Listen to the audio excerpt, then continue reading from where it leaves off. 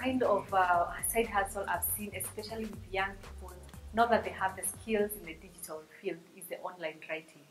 There is a house I manage, and I have about no, is it four four tenants uh, who are doing online writing, and they are so prompt in paying their rent, and you know you just get amazed because you know I was actually I, I had to I was interacting with uh, about two of them, and so they were telling me for them what they require is um, electricity, and they are good to go. And they're like, please ensure uh, we don't have issues with the elec- electricity. And I was asking them why, what do you do with this electricity? They're like, for them, internet electricity is everything. Because during the day, during the night, online writing is their job. And uh, their accounts, I didn't go deep into it.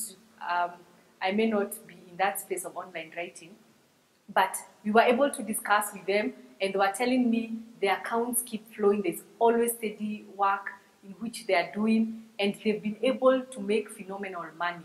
As somebody who's just left campus and is comfortably staying in a house uh, without issues of rent and um, like uh, what ladies are doing, looking for sponsors. You don't need to look for a sponsor.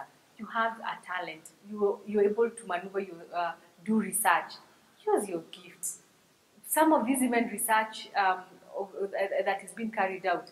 It's something that even uh, you enjoy researching on. So look at what you can do in terms of um, online writing. Get an account.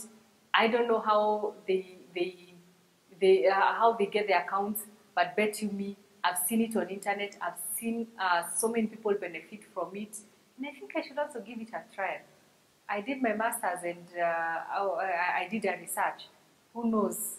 I can still continue because I also enjoyed doing it. Actually, I enjoyed doing it. So online writing is one of the ways in which you can make money and you sustain yourself.